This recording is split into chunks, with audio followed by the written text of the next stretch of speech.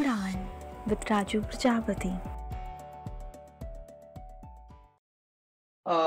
hello everyone I hope everyone is doing great and सभी की preparation अच्छी चल रही होगी। गेट का फॉर्म आने वाला है एंड सीएफटीआरआई uh, का रिज़ल्ट आ गया है और अभी अगले सेशंस के लिए एडमिशन uh, शुरू हो गए हैं। ठीक है?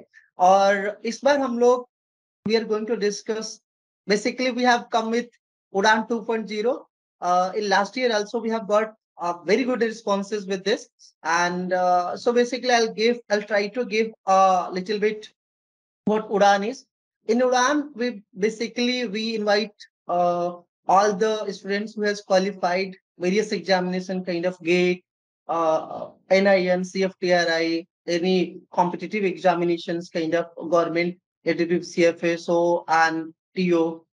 So we call them on uh, this session called Udan Point, uh, called Udan, and uh, we try to know their experiences, their challenges, their mistakes that they committed, which can help to get better uh, for upcoming aspirants. Okay, so we have invited Vasnavi uh, in Udan 2.0, our second version of Udan series.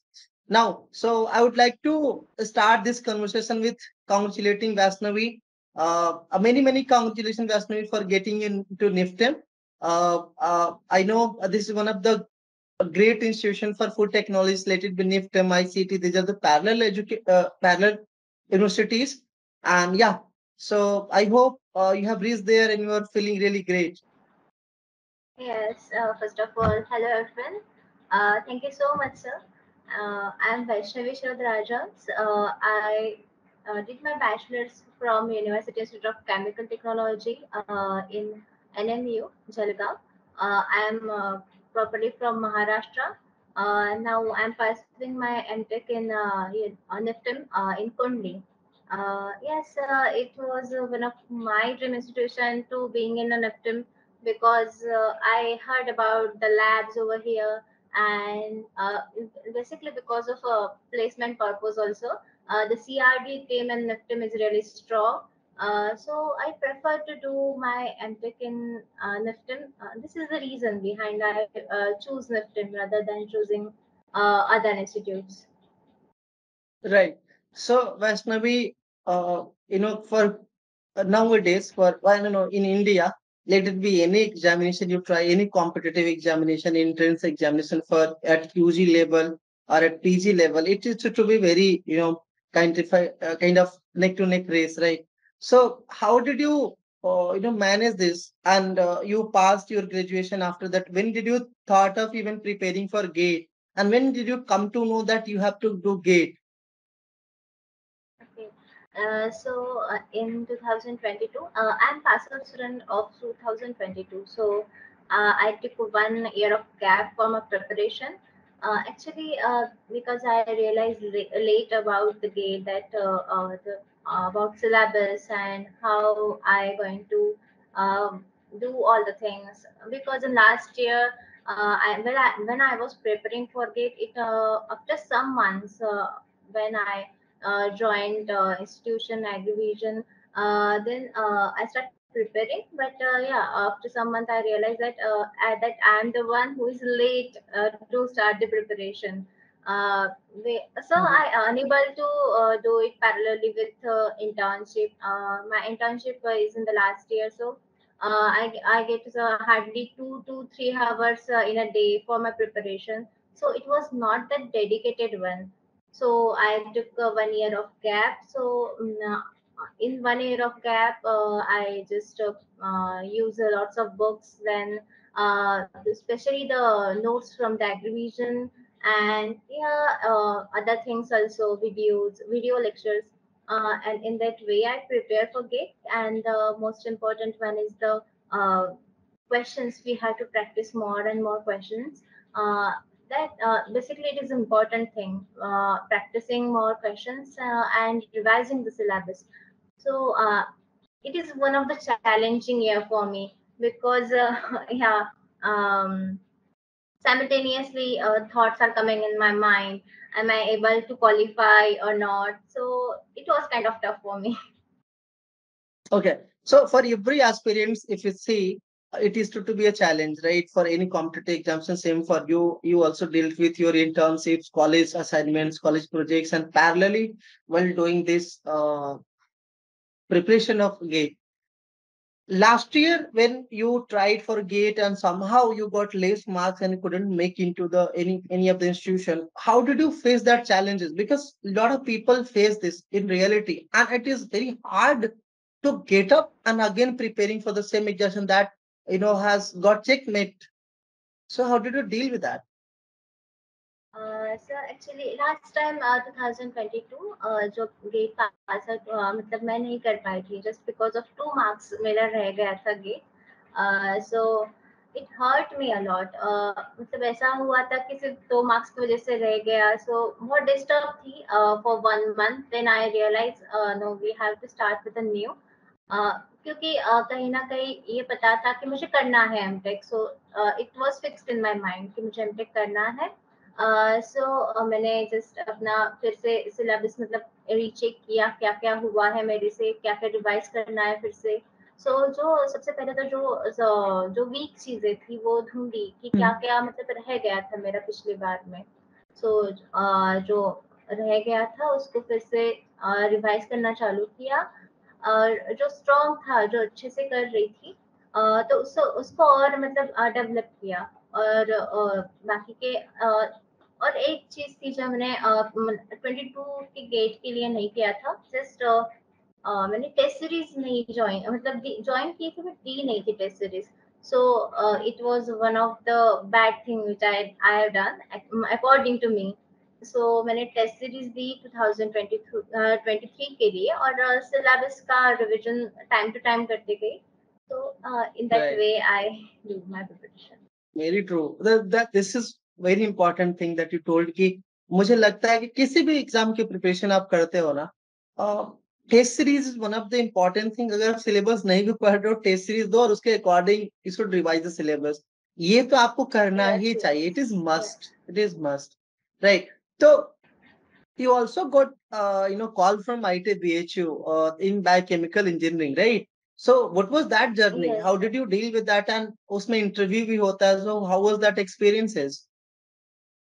Uh, it was a first experience for me because I never uh, uh, applied for any company in 2002. So it was my first interview. I was a bit nervous at that time uh, I was thinking how they are going to ask.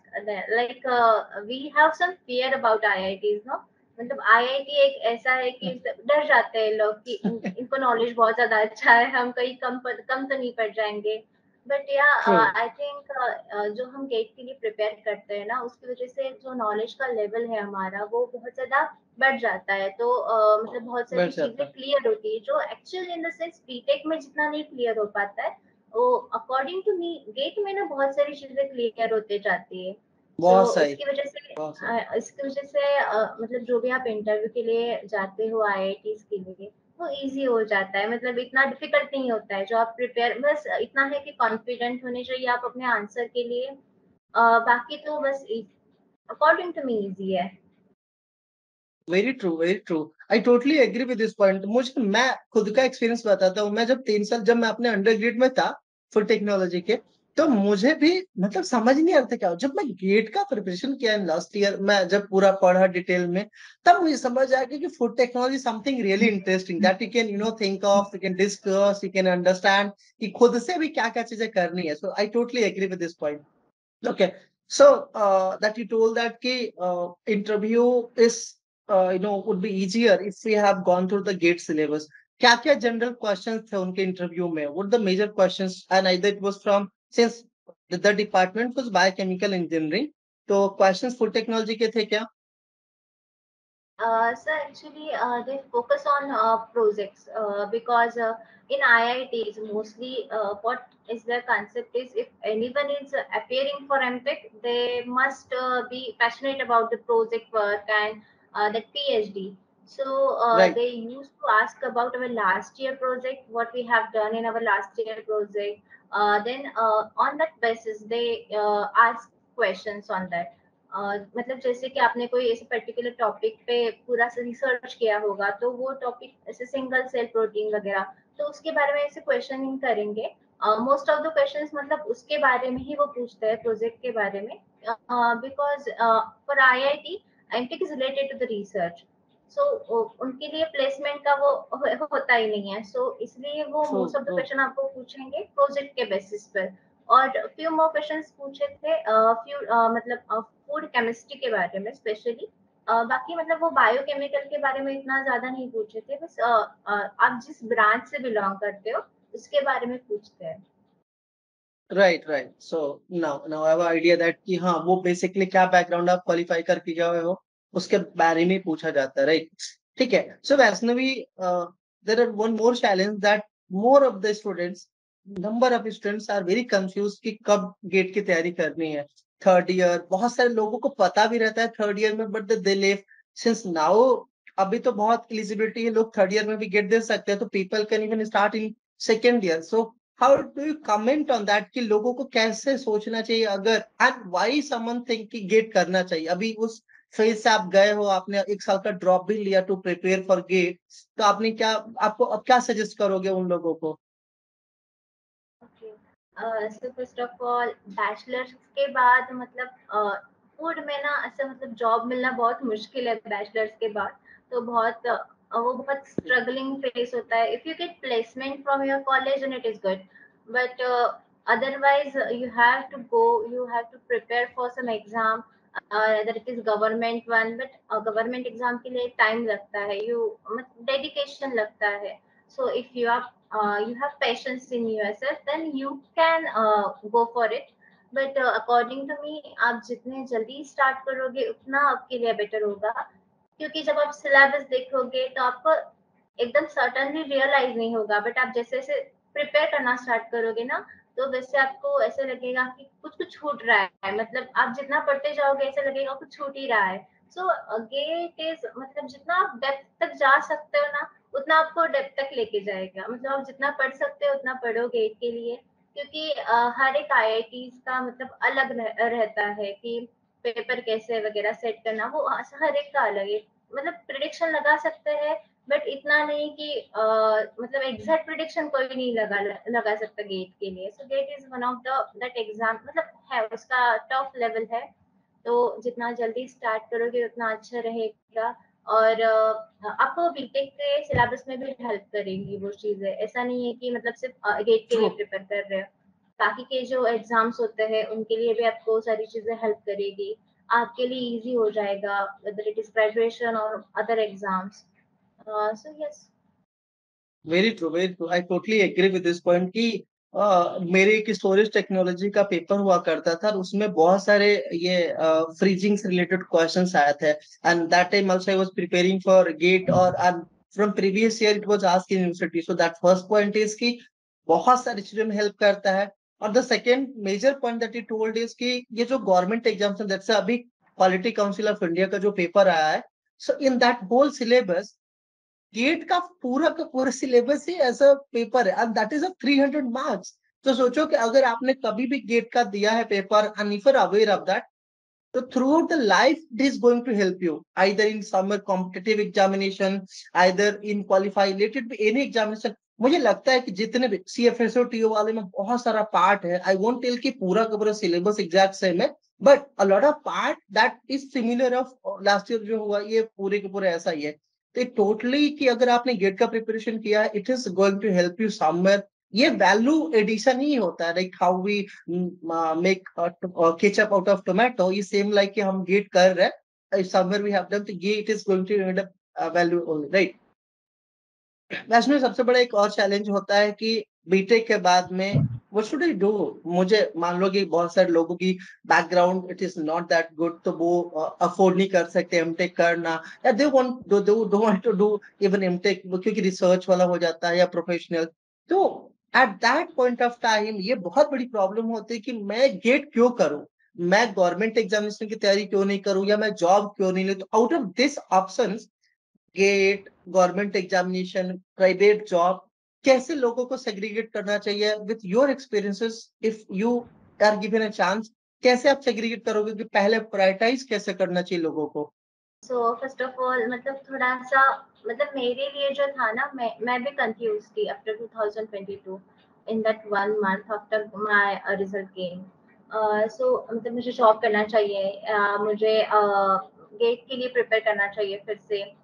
या फिर ऐसे fluctuation होता है मतलब वो मतलब ये मतलब इजीली फ्लक्चुएशन होता है मतलब माइंड ऐसे डाइवर्ट हो जाता है बीच में से कि नहीं मुझे ये शायद मैं टाइम वेस्ट कर रही हूँ या फिर मुझे इसके लिए प्रिपेयर करना चाहिए ये हो जाएगा ऐसा। So first of all government exam के लिए प्रिपरेशन करना is according to me tough है क्योंकि आपको फिर वहाँ पे बहुत पेशेंस लेवल हाई होना चाहिए क्योंकि गवर्नमेंट एग्ज़ाम से क्विक नहीं है कुछ भी। एटलीस्ट वन ईयर तो आपको मतलब सारा वो प्रोसेस चलता है फिर वेटिंग पीरियड होता है फिर उसके बाद में आपका नंबर लगेगा। So it is quite long period so you have to be dedicated to that thing and अगर आप गेट के लिए प्रिपेयर कर रहे हो और साइमल्टेनियसली uh, आप एग्ज़ाम्स दे रहे हो तो आपको बहुत ज़्यादा प्रॉफिट होगा। मतलब मोस्ट ऑफ़ द टाइम्स जैसे अभी मैं क्यूसीआई uh, के लिए प्रिपेयर कर रही हूँ थोड़ा बहुत तो मतलब मुझे है ऐसा कि गेट की जो सिलेबस है वो क्यूसीआई में है तो आपको कहीं ना कहीं आपने जो हम्म। पढ़ा है गेट के लिए उसका फ़ायदा आपको ज़रूर होगा और अगर आप जॉब के बारे में कहेंगे तो it is not easy according to me because one of my friend उसने आफ्टर बीटेक उसने वन ईयर मतलब ऐसे जॉब के लिए अप्लाई किया था उसने मोस्ट ऑफ़ द मतलब सारी कंपनीज़ में अप्लाई किया बट इन वो technology the problem is freshers को कोई जॉब नहीं देता। Everyone want experience one so अगर आप ऐसे बाहर से अप्लाई कर रहे हो तो बहुत ही ज़्यादा हार्ड है एक जॉब अच्छी सैलरी अच्छी सैलरी तो आप मतलब भूल जाओ जैसे कि कि आपको अच्छी सैलरी की जॉब मिलेगी। क्योंकि वो बहुत बड़ी प्रॉब्लम है फ़ूड टेक्नोलॉजी में। मतलब एक तो आपको स्टार्ट एट द एंड आपको अगर जॉब ही करना है तो आपको स्टार्टिंग मतलब फिफ्टीन थाउज़ेंड ट्वेंटी थाउज़ेंड यही इतना ही मिलेगा। ये, यही रेट बारह से पंद्रह मतलब हज़ार। हाँ फिक्स होना चाहिए ये। uh, क्योंकि मे, मेरी बहुत सारे फ्रेंड्स है ना उन्होंने ट्राई किया था तो उनका मतलब यही था एट द एंड सो इसलिए आपको एमटेक uh, में इसलिए सजेस्ट करती हूँ क्योंकि एमटेक के साथ आप बहुत सारी चीज़ें सीखोगे अगर आप अच्छे इंस्टीट्यूट में अगर एमटेक कर रहे हो क्योंकि बीटेक में बहुत सारी चीज़ें रह जाती है जो हम एमटेक में सीखने मिलती है हम हम अपने आप को डेवलप करते हैं। जैसे कि नफ्टे में बहुत सारी एक्स्ट्रा करिकुलर एक्टिविटीज़ होती है प्रेजेंटेशन होते हैं जो शायद uh, किसी किसी के कॉलेज में बीटेक में नहीं कंडक्ट होते हैं। वो सारी चीज़ें होती है यहाँ पे। और uh, बहुत मतलब मेरी कॉलेज में प्रॉब्लम ऐसी थी ना थोड़ा सा लैब इतना मेंटेन नहीं था। इक्विपमेंट्स कुछ कुछ चल रहे थे कुछ कुछ नहीं चल रहे थे तो कुछ कुछ इक्विपमेंट्स हैंडल करने भी नहीं आते हमें। Because of the condition of the lab so ऐसे अगर अच्छा इंस्टीट्यूट हो आपका एमटेक में तो आप बहुत सारे इक्विपमेंट uh, हैंडल करना सीख सकते हो। और uh, यहाँ पे बहुत सारे मतलब ऐसा भी हो जाता है कि किसी किसी का इंटरेस्ट सडनली रिसर्च की तरफ़ हो जाता है। After you are going in MTech और MTech from one of the nice institute so ऐसा भी ऐसी भी चीज़ें होती है यहाँ पे। मतलब निफ्टम में uh, यहाँ पे मतलब बहुत सारे टीचर्स से कहते हैं कि जब बहुत सारे लोग ऐसे सर्टन से डाइवर्ट हो जाते हैं पीएचडी की तरफ़ कि उनको रिसर्च में आगे काम करना है। तो आपको अपना इंटरेस्ट भी पता चलता है बाद में चलकर। होती है so whatever I suggest is just आप एक एग्ज़ाम के लिए प्रिपेयर कर रहे हो तो आप बस एक एग्ज़ाम के लिए प्रिपेयर कर रहे हो तो, तो एक ही एग्ज़ाम में आपका फ़ायदा होगा ऐसे नहीं है। If, अगर आप गेट के लिए प्रिपेयर कर रहे हो तो आपको बहुत सारे एग्ज़ाम्स में आपका बेनिफिट मिलेगा कम ज़्यादा मिलेगा ऑब्वियस है बट मिलेगा benefit very true very true I totally agree all the point that you told कि हमें टाइम मिल जाता है and when we are in good colleges so good और bad I am not getting to get into that but हाँ जो UG level के colleges हैं इंडिया में फ़ूड टेक्नोलॉजी के तो मैक्सिमम द कॉलेज में हालत यही है। So, most of the colleges even don't have a good labs or even they have a lab so we are not, as a graduate, हम लोग थर्ड ईयर फोर्थ ईयर में we are not allowed to touch many of the instrument ये ये सब colleges में ही है उनको PhD वाले करेंगे कोई पर्टिकुलर टीचर करेगा आपके सिलेबस में है but you are not allowed to touch that so MTech वगैरह में you get the chance to you know know yourself यार मेरी क्या क्या क्वालिटीज है either I want to do research और I have something kind of I just know my you know i'm done with this studies i don't want to study more i'm i'm uh, going to get into the private uh, you know look forward to do something right and and you get also chance like you told कि PPTs में या बहुत सारे लोगों peer जो होता है ना, जो peer connection people come with very good background and different background वहाँ से अपने को सीखने को मिलता है। बड़े बड़े कॉलेजों में बहुत सारे फ़ंक्शन होते हैं, उससे अपने को पता चलता है क्या ये ये चीज़ें भी होती है। So to get at at a place जहाँ पे बहुत अच्छा कंपटीशन है, जहाँ पर बहुत अच्छी फैसिलिटीज़ है you surely would you know make yourself somewhere better और आप आपके पास इजी होगा, वो जॉब लेना या फर्दर फॉरेन में जाके स्टडीज़ करना पीएचडी करना या whatever it is let it be you get quality of work you get quality in yourself you get confidence that what really matters की कॉन्फिडेंस बहुत बढ़ जाता है आपका। I totally agree with this point right now वैसे एक और problem होती है जो मैक्सिमम लोग फेस करते हैं कि मान लो हम थर्ड ईयर में है, ठीक है? तो हमने थर्ड ईयर में स्टार्ट नहीं किया। हम सोचते हैं कि यार फोर्थ ईयर में अपन कर लेंगे फोर्थ ईयर में लास्ट में कर लेंगे, जो मैं शुरुआत में भी पूछा था। तो एग्जैक्ट टाइम क्या होना चाहिए गेट प्रिपरेशन के लिए, ठीक है? कब लोगों को सोचना चालू कर देना चाहिए। And and how this should start क्योंकि क्या होता है कि या तो आप आप क्या रिकमेंड करते हो कि सेल्फ स्टडी क्योंकि आपने, आप दोनों फेजेस से गए हो, क्या रियली मैटर करता है? आउट ऑफ़ बहुत सारे कंटेंट अवेलेबल है टेलीग्राम पे एंड ऑल दोस प्लेसेस तो कैसे लोगों को मैनेज करना चाहिए? All those resources planning execution well going with internship college task and everything what is what is the also I I to include this what is the need of someone to do coaching and how does it help let's say अगर मैं agree vision की बात करूँ तो आपको इसने कैसे help किया? How does it has saved you और क्या-क्या ये बाकियों को भी हेल्प कर सकता है विद योर एक्सपीरियंसेस सो सबसे पहले तो ये है कि uh, अगर आपके पास कोई मेंटर हो तो आपको ना बहुत सारी चीज़ें ना मतलब फिगर आउट करना इजी हो जाता है क्योंकि गेट का जो सिलेबस है बहुत वास्ट है आप हर एक बुक नहीं पढ़ सकते हो मतलब बुक उठा के नहीं पढ़ सकते हो। वो बहुत ही ज़्यादा डिफ़िकल्ट है। और अगर नोट्स भी निकालने हो तो वो भी बहुत ज़्यादा डिफ़िकल्ट है। तो आपके पास अगर नोट्स निकालो बट ऐसे हर एक बुक से नहीं लेके बैठ के नोट्स निकालना तो उसके लिए तो बहुत टाइम लगेगा। और मतलब रही अगर आपको कब से स्टार्ट करना है तो सबसे पहले तो आ, मुझे लगता है कि फ़र्स्ट ईयर में ठीक है। अपन फ़र्स्ट ईयर में नए नए कॉलेज में आते हैं तो सबसे पहले कॉलेज वगैरह सब मतलब ये सब नया नया रहता है तो एक बार सेटल हो जाओ सब मतलब समझ लो कॉलेज कैसा है कैसे आपको मैनेज करना है। सो इन सेकेंड ईयर आप बहुत ज़्यादा मतलब फैमिलियर हो जाते हो कॉलेज में कैसे करना है क्या करना है। और मुझे नहीं लगता कि uh, मतलब इंजीनियरिंग की जो एग्ज़ाम्स है वो इतनी हार्ड रहती है कि आपको रोज पढ़ना पड़े। सो so, uh, मतलब वन नाइट स्टडी में भी कुछ कुछ पेपर्स हम निकाल लेते हो इंजीनियर से ऑब्वियस वो, मतलब हैबिचुअल हो जाता है। तो फिर आप बाकी के दिन तो वैसे भी फ्री रहते हो। तो वो आप यूटिलाइज करो बिकॉज़ इन सेकेंड ईयर आपको मतलब मोस्ट ऑफ़ द कॉलेजेस में प्रॉब्लम क्या है कि फ़र्स्ट ईयर में फ़ूड टेक्नोलॉजी के सब्जेक्ट्स नहीं रहते एक दिन इन माय कॉलेज ये प्रॉब्लम था ना फ़ूड टेक्नोलॉजी टेक्नोलॉजी का जो सब्जेक्ट है वो हमें सेकेंड ईयर से इंक्लूड हुए थे। सो so, आपको तब एक्सपोजर होता है सेकेंड ईयर से फ़ूड टेक्नोलॉजी के सब्जेक्ट्स का तो फिर आपको बहुत सारी चीज़ें समझने लगती है सेकेंड ईयर से। सो so, मुझे ऐसा लगता है कि second year is one of the best year to start for the GATE क्योंकि अभी जैसे कि थर्ड ईयर में मतलब गेट देने के लिए अलाउ कर दिया गया है। तो फिर आप अगर सेकेंड ईयर में अच्छा प्रिपेयर कर लेते हो तो आप और थर्ड थर्ड ईयर में जैसे कि आपको अच्छी रैंक आ जाती है तो आपको फोर्थ ईयर में ना उतना लोड नहीं रहेगा। क्योंकि फोर्थ ईयर में पहले ही मतलब वो सब सबमिशन का लोड रहता है और अगर आप इंटर्नशिप के लिए जाते हो फिर आपको टाइम बहुत कम मिलता है। सो so, मेरा तो यही कहना रहेगा कि आप अगर थर्ड ईयर में जितना भी मतलब जिसको भी पॉसिबल हो थर्ड ईयर में अगर आप क्लियर कर लोगे तो वो वन ऑफ़ द बेस्ट रहेगा। मतलब आप ज़्यादा ऐसे टेंशन में नहीं रहोगे क्योंकि फोर्थ ईयर में ना बहुत सारी चीज़ें होती है। कहीं किसी किसी कॉलेज का प्लेसमेंट का भी चल रहा होता है बहुत सारा कंफ्यूजन क्रिएट हो जाता है। सो थर्ड ईयर में क्लियर करना is one of the best so आप सेकेंड ईयर से स्टार्ट करो। क्योंकि मतलब जितने जल्दी स्टार्ट करोगे ना उतना उतना आपको टाइम मिलेगा चीज़ें फिगर आउट करने के लिए। जैसे कि मुझे कितना टाइम देना चाहिए रोज uh, कैसे प्रिपेयर करना चाहिए।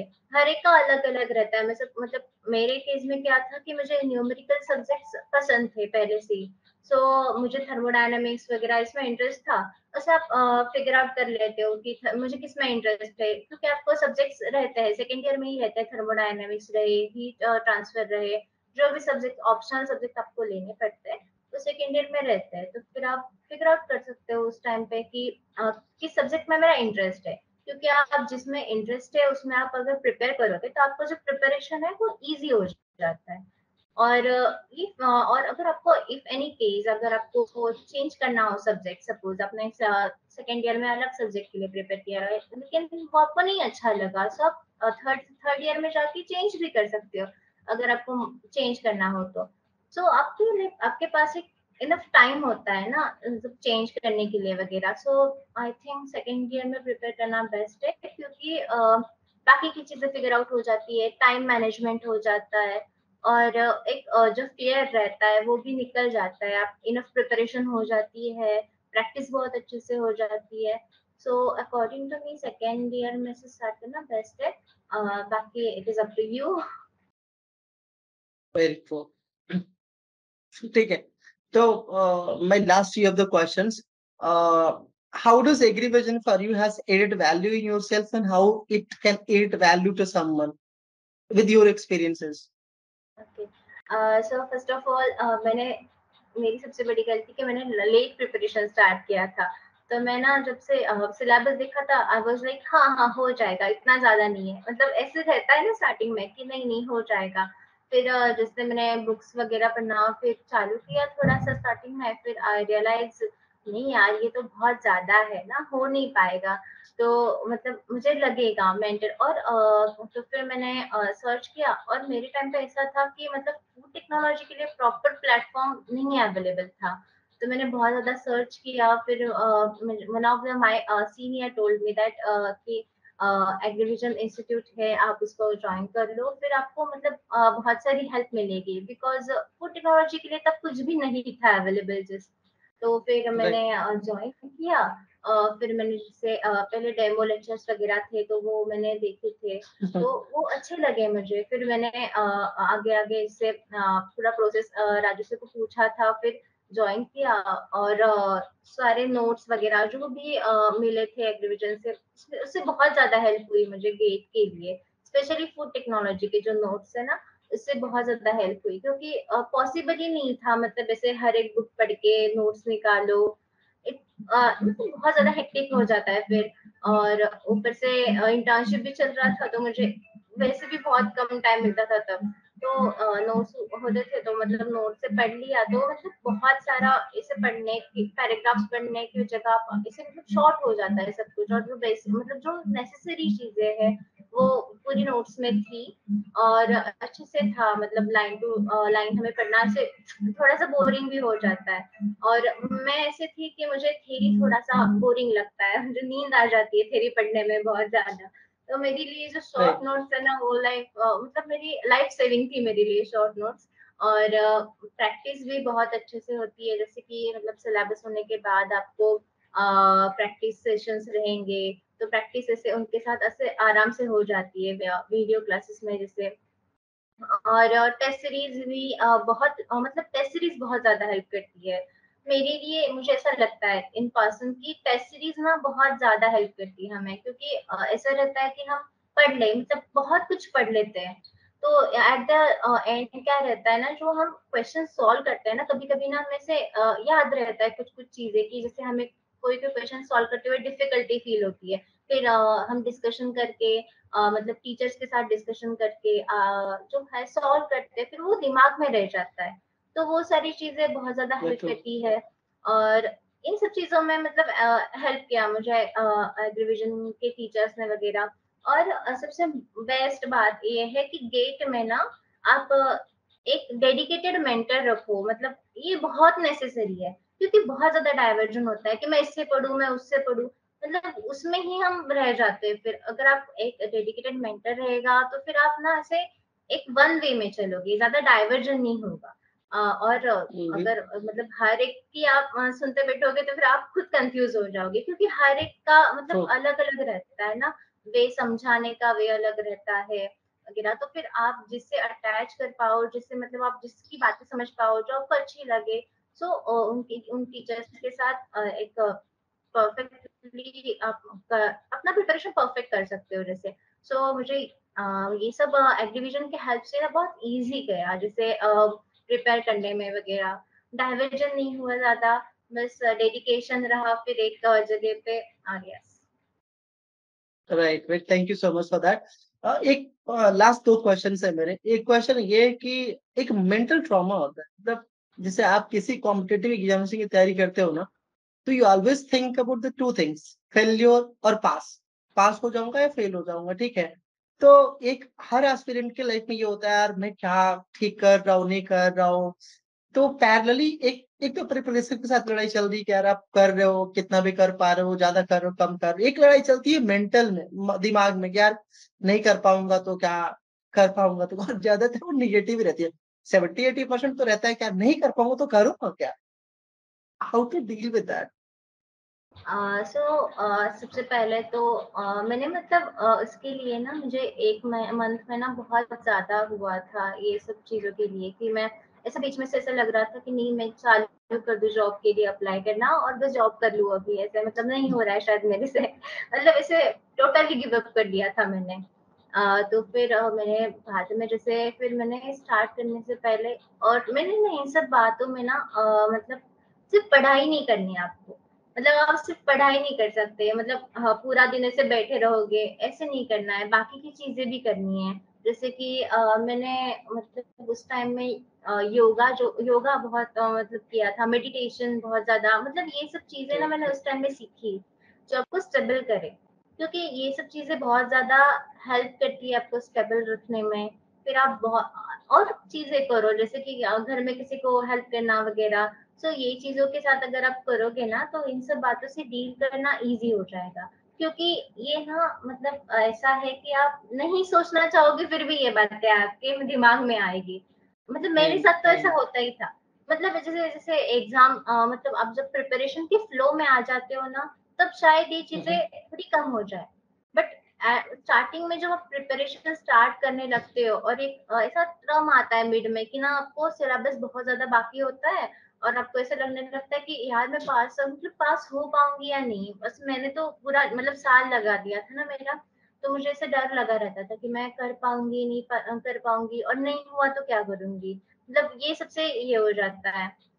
आ, तो ऐसा हो जाता है बीच में ही कि आ, मतलब बहुत सारा सिलेबस पड़ा हुआ है और इसको अभी कैसे करूँ? मतलब जैसे बहुत सारे नेगेटिव थॉट्स आते थे जैसे कि पास नहीं करूँगी तो मतलब पास आउट तक नहीं कर पाऊँगी सपोज़ गेट क्योंकि पिछली बार दो मार्क्स से दे गया था फिर इस बार अगर सेम कंडीशन हो जाए कि एक दो मार्क्स से फिर से दे जाए फिर मैं क्या करूँगी? फिर ऐसे ऐसा नहीं लगता है कि सब पाठ बंद हो गए ना। आ, तो फिर ऐसा नहीं है आप अगर गेट के लिए प्रिपेयर कर रहे हो तो मतलब एक ये मतलब नेचुरल है नेगेटिव थॉट्स आना फिर आपको उसको ओवरकम करने के लिए आप बाकी की चीज़ें करो। मेरे लिए तो मतलब मैं तो सजेस्ट करूँगी मेडिटेशन करो ये सबसे बेस्ट रहता है। और बाकी के कुछ मतलब बाकी के भी बुक्स पढ़ो जो अगर आपको मतलब इंटरेस्ट है बाकी की बुक्स पढ़ने में तो वो भी थोड़ी थोड़ी पढ़ा करो रोज दस दस पेजेस वगैरह ऐसे वो सारी चीज़ें बहुत ज़्यादा हेल्प करती है। और नेक्स्ट थिंग ये है कि जैसे आप प्रिपरेशन में हो एक बार एक बार में आप वो जो फ़ेज़ है ना वो अगर आप कर लोगे मतलब उन सब चीज़ों से डील तो बाद में आपको एक फ्लो मिल जाता है फिर आपको पता रहता है कि कैसे करना है क्या करना है और most of the important thing कि आप टाइम टेबल बना के रखो कि मुझे ये मंथ ये इतना पीरियड ये सब इसमें ये ये टॉपिक जो है ये टॉपिक मतलब बना के रखो कि ये टॉपिक इस मंथ में इस मंथ के एंड तक कंप्लीट करना है। फिर आप इसे टारगेट के बेसिस पे स्टडी करोगे तो फिर वो इजी हो जाता है। फिर आपको ऐसे नहीं लगने लगता है और मतलब टू डू लिस्ट जैसे बना के रखो रोज वाली सो so, एक एक जो जो काम होते हैं अपने तो उसको टिक करते जाओ तो फिर एक अलग लेवल ऑफ़ सेटिस्फेक्शन होता है एट द एंड कि नहीं मैंने आज दिन में जो काम मैंने अपने लिए डिसाइड करके रखा है वो मैंने पूरी तरह से किया है।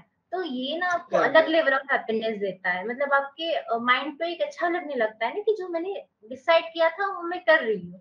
सो so, ऐसे अगर आप करोगे तो ये छोटी छोटी चीज़ें जो है वो बहुत ज़्यादा मैटर करती है जब आप किसी एग्ज़ाम के लिए प्रिपेयर करते हो।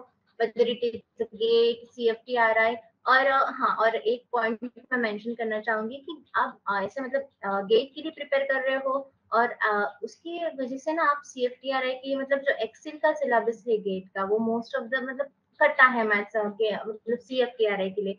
सो so, और C F T R I की एग्ज़ाम बाद में होती है गेट के बहुत मतलब बहुत मंथ बाद में होती है ना। तो आप आ, मतलब गेट का जो स्टडी है वो आप यूज़ कर सकते हो C F T R I की प्रिपरेशन के लिए।